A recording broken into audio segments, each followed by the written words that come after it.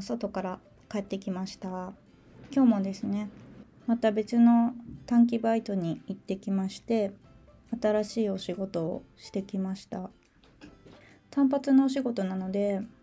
今日一日だけだったんですけど気分転換に新しい仕事が経験できてよかったかなと思ってます。今週はですねずっと風が強くて今日も夕方から風が強く吹いてます。で昨日ですねイギリスに来て3ヶ月が経ちました。ということで今日はイギリスに来て3ヶ月経った。今の心境などをお話ししたいと思います。最初の1週間目は VRP カードを取りに行ったりイギリスの信号に慣れるのが大変だったっていうのとあとはその後は1ヶ月目は家探しがとても大変でした。結構私は13軒ほど家を見て回ったんですけど1週間の間に13軒家を回る用事を詰め込んだのでその1週間はすごく疲れてました。でその後仕事が始まって短期のバイトをしてみたりあとはフルタイムのお仕事が始まったのでそちらを今継続して続けているというところです。まあ、フルタイムと言っても週6日間が営業日なんですけどフルタイムで働きたいですって言ってしまうと6日働くことになるのでお給料的には6日働くといいんですけれども体力的な面も考えて週5日で働いてます。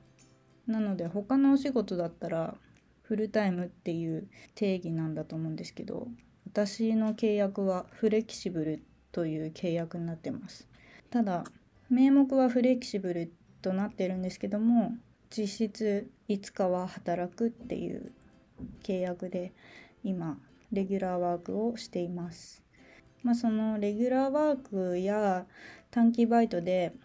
何をやっているのかっていうのはまた気が向いた時にお話ししようかなと思います。で12月の下旬のクリスマスや年末のあたりはですねコロナのワクチンを打ちに行きまして副作用で寝込んでいましたなのでクリスマス前後は結構副作用に苦しんで家で寝てたという感じです。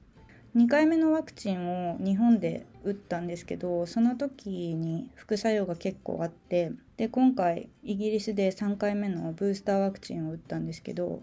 副作用が出るなっていうのが分かってたので食材を家に買い込んで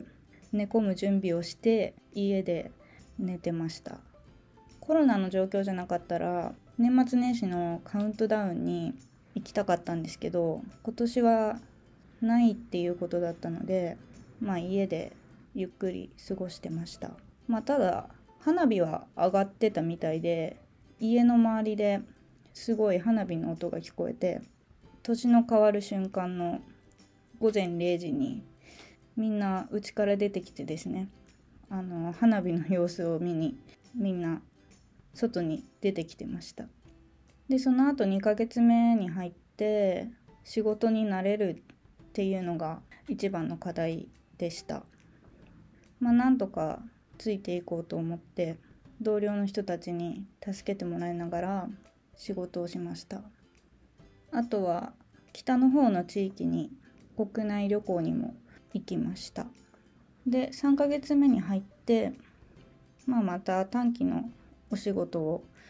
しまして3ヶ月目は今日を含めて2種類の短期バイトをしました。なんで2種類も短期バイトしたかっていうとレギュラーワークの方がうまくシフトの都合が合わなくて週3日になってしまった週があったんですね。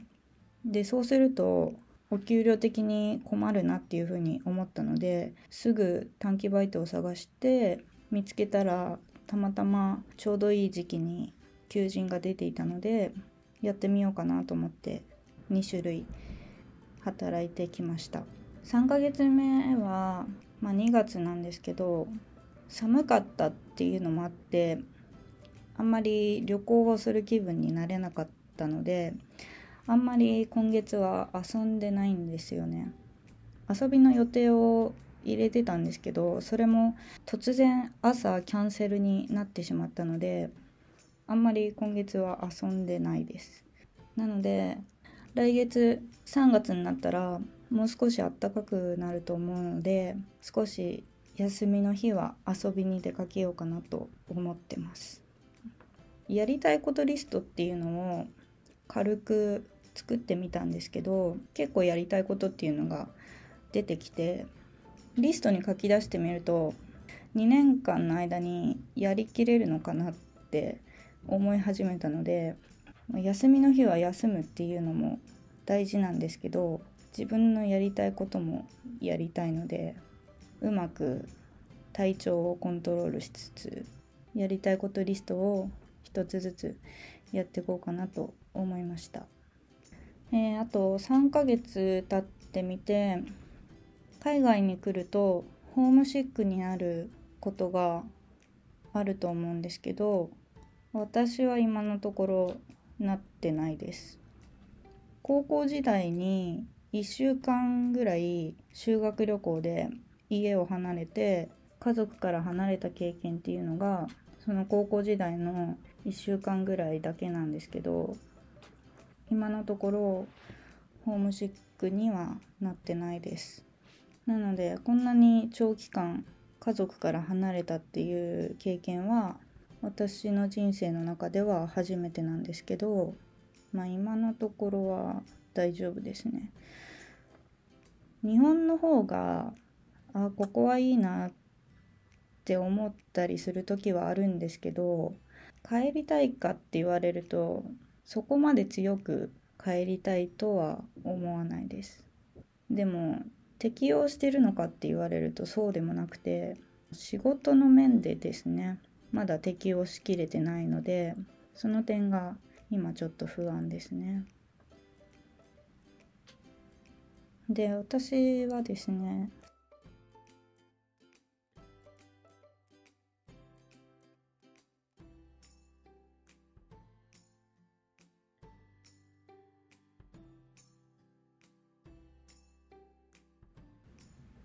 NHS で処方箋を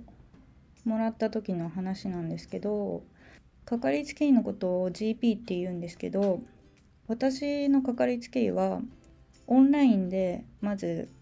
自分の状況がどういう状況であるかっていうのを申請するんですね。でそうすると電話がかかってきてアポイントメントをいつ取りますかっていう風な電話がかかってきて予約を取りました。で英語で説明するのが難しいので直接病院に行って対面で先生と話したいですっていうのを言ったんですけど今コロナの状況なので電話の診察しかできないっていう風に言われてあ難しいなっていう風に思ったんですけど、えー、電話診察の予約を取りました。で電話で自分のの状況を伝えて処方箋を出してもらったという形です。でその後指定された薬局があるんですけどそこに行って、まあ、バーコードを薬剤師さんに提示すると処方箋を探し出してきてくれるのでそれで奥の方からお薬を持ってきてくれます。で自分の誕生日とか自分の住所を確認した後にお支払いをしてお薬をもらうという形になります。医者に処方してもらわなくても薬局とかにも売ってるんですけど